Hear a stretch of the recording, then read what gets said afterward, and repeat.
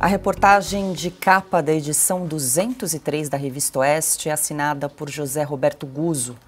O texto mostra que o Brasil, graças ao ministro Dias Toffoli, foi colocado entre os países sem lei, sem códigos morais e sem vergonha. A gente vai acompanhar um trecho na voz de Daniel Vidal. O Supremo Tribunal Federal tantas fez para proteger a corrupção no Brasil com tanta arrogância e tão pouco caso com o decoro mínimo esperado de sua conduta, que conseguiu enfim chamar a atenção do mundo para o que estão fazendo aqui. Um ano atrás, a porção da comunidade internacional que se considera mais civilizada e mais apta a decretar regras de comportamento para as demais festejava a vitória da democracia no Brasil. O perigo do populismo de direita foi derrotado. O amor venceu. Não contavam com a astúcia do ministro Dias Toffoli. Em apenas um ano, com a sua inédita sucessão de sentenças em favor da ladroagem e dos ladrões, ele conseguiu demolir toda essa conversa. Eis o Brasil, por sua conta, colocado entre os párias do mundo. Os países sem lei, sem códigos morais e sem vergonha que fazem parte da face escura da humanidade. A insegurança jurídica criada nos últimos anos pelo STF, na qual ninguém sabe qual é a lei que está valendo hoje, superou as fronteiras da violação às garantias democráticas e mergulhou de cabeça no bafão da roubalheira do erário. É como o sujeito que, em vez de tirar o calção de banho dentro da piscina para ninguém ver, sobe no trampolim para mostrar a todo mundo que está nu. E nossa diretora de redação, Branca Nunes, hoje conosco. Véspera de carnaval, Branca Nunes por aqui. Boa noite, Branca. Seja muito bem-vinda. Conta pra gente quais são os outros destaques dessa edição, além desse primoroso texto de J.R. Guzzo que estampa a capa da edição 203 da Revista Oeste. Boa noite, Branca. Boa noite, Paula, Cáutio, Pioto, Ana, Alexandre. Boa noite a você que nos acompanha. Eu vou falar primeiro, Paula, de um presente que nós vamos dar nesta edição aos nossos leitores. A gente vai abrir, além do texto do Guzo, outros dois é, artigos e uma reportagem que ajudam a mostrar como o Brasil está virando esse párea internacional mesmo. O primeiro é o do Augusto Nunes, que tem o título Toga não é coroa.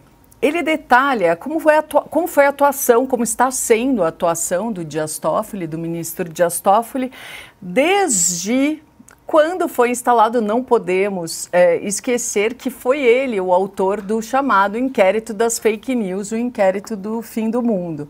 Então ele vai contando tudo que o Toffoli fez até agora. E a outra é a reportagem do Silvio Navarro, que ele, ele mostra né, essa caçada sem precedentes ao Bolsonaro. Teve mais um capítulo nesta quinta-feira e que o absurdo de você é, prender o principal líder da oposição e o principal cabo eleitoral para as eleições que se aproximam. E vou destacar, Paulo, uma reportagem que eu escrevi com o Arthur Piva sobre essa revolta, esse protesto dos agricultores europeus o, eles colocam, né, são dois principais, duas principais reivindicações.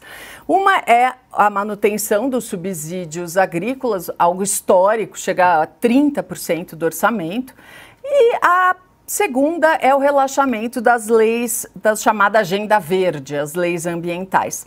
Eu conversei com o Christian Lobauer e ele falou uma coisa muito interessante. Falou assim: duas coisas, né? Se a gente vai pensar no que significam esses protestos para o Brasil. Primeiro é a questão dos subsídios. Interessa para o Brasil? Não, porque daí o produto europeu fica mais caro e a gente exporta mais. Mas, ao mesmo tempo, essa, essa, essa, esses protestos contra essa agenda verde são muito interessantes para a gente, porque o Brasil costuma importar certas tendências europeias, como, por exemplo, isso de você querer é, punir o agronegócio por causa do meio ambiente. Só que o Brasil ele já tem regras muito claras com relação ambiental. O Código Florestal Brasileiro é uma legislação muito boa preserva muito o meio ambiente. E você vê nas, os, os, os uh, agricultores europeus assim, indignados que parte dessa agenda verde inclui eles deixarem parte da terra deles, um pedaço da terra deles, para preservação ambiental. O Brasil, no Brasil, por lei, os agricultores precisam preservar de 20 a 80% da terra, dependendo do estado onde eles estão. No Amazonas são 80%. Então, 80% da sua terra você tem que manter, não pode acontecer nada com ela, tem que ficar preservada e você não ganha um real para isso. Os agricultores europeus estão indignados, então os brasileiros precisam pensar um pouquinho sobre isso, porque a gente já tem essas regras. Então a gente não precisa importar essa agenda verde. São esses os destaques, Paula. Muito bom, Branca Nunes. Então vamos Tem reforçar. Tem, com certeza, mas vamos reforçar aqui para quem está nos acompanhando que a Oeste então está liberando três artigos. É essa semana. Você que acompanha o Oeste Sem Filtro, mas ainda não é assinante da Revista Oeste, é uma oportunidade para você conhecer o nosso conteúdo, para fazer uma degustação da Revista Oeste com três artigos incríveis, né? O primeiro de J.R. Guzzo, que estampa a capa. Vamos pedir aí para a produção exibir na tela? Nós temos a capa da Oeste dessa semana, tá aí, Brasil, o Pare, essa reportagem de J.R. Guzzo, que está liberada, inclusive, então, para não assinantes. Depois temos a reportagem de Silvio Navarro, também liberada para não assinantes. Temos aí também produção para a gente exibir. Essa é de Augusto Nunes, Toga não é coroa, e essa está aí então de Silvio Navarro, Perseguição Implacável.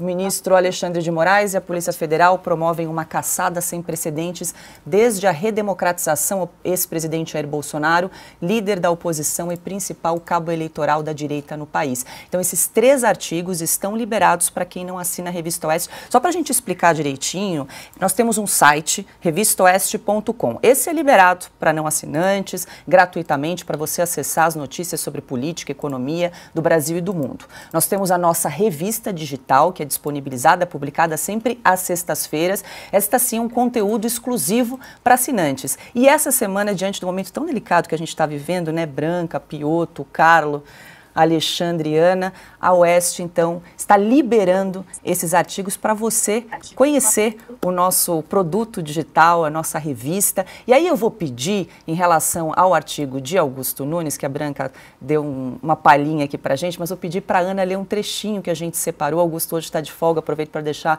mandar um beijo para ele, mas para a gente ler um trechinho do artigo do nosso mestre aqui. Boa noite, Ana. Boa noite, Paula. E que artigo, né? Primeiro uma capa espetacular do mestre Guzo, agora esse essa palhinha que eu vou dar do artigo do mestre Augusto e hoje temos o nosso mestre, né, Alexandre Garcia com a gente. Então, boa noite, Paula, Branca, Alexandre, uh, Pioto e Cautia, nossa audiência também maravilhosa. Boa noite. Olhem que trechinho espetacular do artigo do Augusto. Em 14 de março de 2019, o ministro Dias Toffoli revogou o sistema acusatório brasileiro e instaurou monocraticamente o inquérito 4781. Passados cinco anos, jazem numa vala comum a plena liberdade de expressão, o direito de ampla defesa, o devido processo legal, o inquérito com prazo para terminar, o julgamento imparcial a individualização de conduta, a imunidade parlamentar, o acesso do advogado do réu aos autos do processo. Toffoli e todos os outros precisam aprender urgentemente que o poder moderador nasceu no Império e morreu com a queda de Dom Pedro II. Não há lugar na República para uma velharia reivindicada por quem sonha com o uso imoderado do poder. O Supremo também precisa aprender que a capa pendurada nos ombros dos ministros é só uma vestimenta que identifica servidores encarregados de zelar pela obediência à Constituição e garantir a segurança jurídica. Toga não é coroa, não confere poderes imperiais a ninguém. Muito bem, mais um golaço de Augusto Nunes disponível no site da Revista Oeste, aberto para não assinantes. Fica aí a oportunidade. Você que acompanha o Oeste Sem Filtro todos os dias, está na dúvida se assina a revista ou não, corre lá. Eu tenho certeza que depois de você degustar todo esse conteúdo que a gente está disponibilizando para você, você vai fazer parte aqui da nossa comunidade, que é muito importante para a gente. Nós aqui estamos no YouTube, já há mais de um ano fomos desmonetizados pela plataforma. A gente não recebe um tostão aqui da, do YouTube para produzir esse programa, então a assinatura da revista é muito importante para a gente seguir aqui, mantendo o nosso jornalismo independente de todos os dias. Agora eu vou liberar a Branca Nunes para o carnaval. Vai pular carnaval, Branca? Vou, vou para Batata Doce lá em Taquaritim. Opa! Então, bom carnaval para você, bom descanso. A gente se vê na semana que vem. Boa noite. Obrigada, boa noite.